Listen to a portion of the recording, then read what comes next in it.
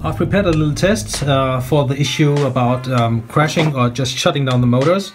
So what I've what you see here is my Taranis. You see on channel 4 is my throttle.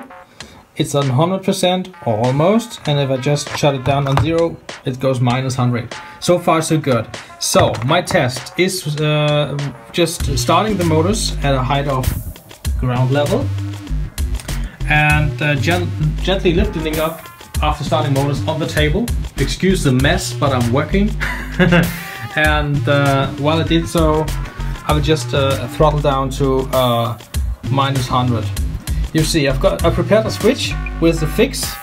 If I just uh, pull the one here, throttle goes uh, minus 15 to 80, minus 85, which is enough to prevent shutting down.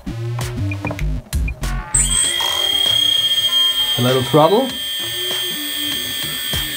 Should be enough. Motors are spinning. Everything is good. Let's lift off.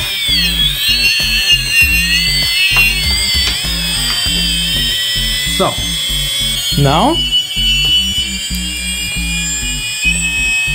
we're going down to zero. Ground. Let's do this again with the patch just to prove that the little addition of the little mix will do and save your behind, you know? A little trot, throttle, doing the switch, and we're fine. Preparing the lift off. Oh.